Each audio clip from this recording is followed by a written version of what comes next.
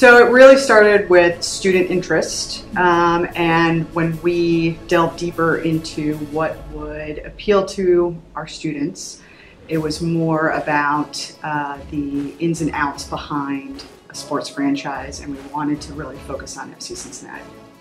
The, the students really just realize sports, and we love sports, we play sports, but to really yeah. tell the kids like it's really not just about sports. There's the business side to sports. Yeah. Mm-hmm um, and then there's a whole world of, right? It's not just the soccer players. Like, how do we even start, right? So, so sports econ.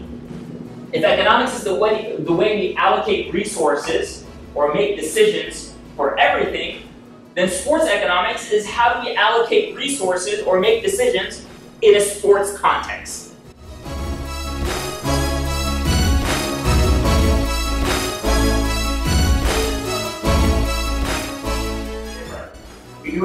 Differently with FC Cincinnati. When we launched the team, we talked about there's going to be three pillars in which every decision that we make is how is it consistent with these three pillars? Does that help us be a winning team? Is that something that winning teams should do? Number two, is that a, is that consistent with being a family-friendly club? Family-friendly. Number three, we're going to be a franchise that is visible and committed the community side allows the team to section off that community fund and run on its own for a non not-for-profit, not-for-profit um, side of the organization.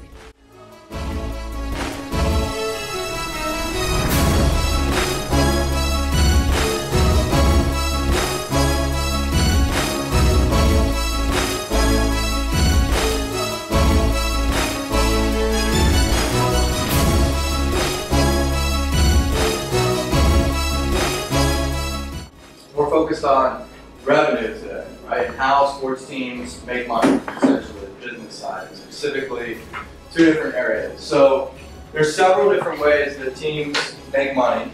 Um, you tell me, what, what do you think? How do, how do sports teams make money?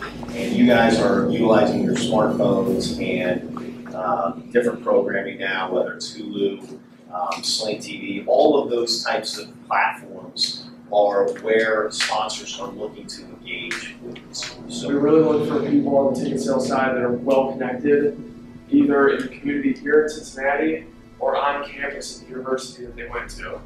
So all of our all of our ticket sales reps have some sort of that combination um, when they first come on FC Cincinnati. But again, it's, a, it's showing a history of building relationships and solving problems. And economics. Economics also plays a huge part into when we talk about analytics and statistics. Analytics, how I like to think of it, is the mixture and blend of economics and statistics.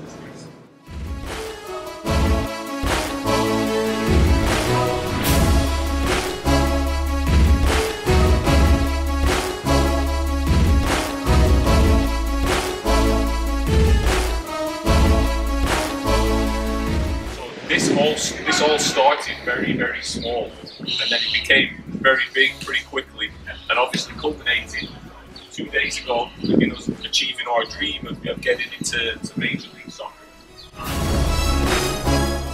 Um, I'd say it's definitely increased my interest. Um, you know, I usually go to sports games and I kind of go there for the entertainment, the, the fun, and I think of it, you know, as uh, as a sports game. Really, I don't think of it as a business. And um, these these lectures they have they've really kind of shifted my thinking about it um, and how how sports can be used to create a profit um, or even give back to the community. So that's. I really didn't know how many opportunities there were in sports. And I knew that there was business in sports, but I didn't know how in depth business actually went into sports and that sports are more business than they actually are sports. So yeah, I think it's increased my interest because now I know there's a lot more opportunities too. That they understood that our students you know, they were high schoolers, that this was kind of a dipping the toes to figure mm-hmm. out. And so they really knew how to then condense and really they knew how to, you know, teach to the population that right. we had. And I think that was tremendous. Totally. The professors were phenomenal. Right. I mean, they came in. I mean, talking about making e- economics fun and exciting.